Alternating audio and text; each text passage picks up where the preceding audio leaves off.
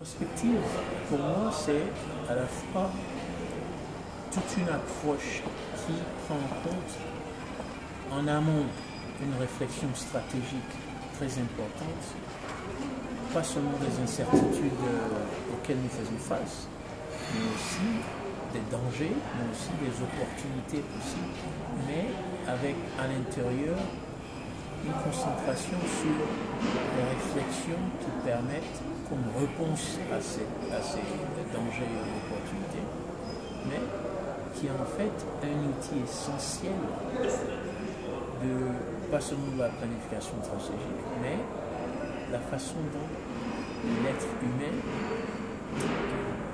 se, euh, si vous voulez, euh, crée ses rapports avec l'environnement dans lequel il est ou elle est, afin de bénéficier au maximum de cet environnement. Ça, c'est un peu ma définition. Elle est un peu longue, mais c'est un peu ma définition de la perspective. Mais surtout à son avantage, à l'avantage de l'être humain, très souvent. Sans perdre pour autant l'intérêt de la nature dans laquelle, ou bien dans, lequel, dans laquelle il est, ou elle est. Très important.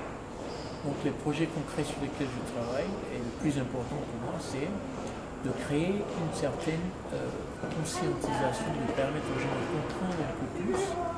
Donc je le fais à travers un système d'éducation très important, mais surtout au niveau universitaire. Ce qu'on appelle euh, à l'université chez graduate school ou bien euh, business school.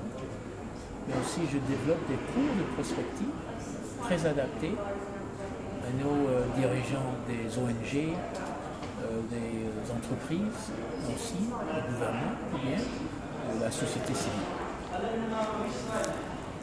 Par exemple, je fais des, travaux avec euh, Anglo-American en Afrique du Sud, avec aussi euh, Rio Tinto dans les, le futur mines, mais aussi avec le World Economic Forum sur le futur ressources minérales en Afrique, et aussi dans le monde. Donc ça, c'est quelques exemples très précis sur l'utilisation de la prospective en Afrique du Sud.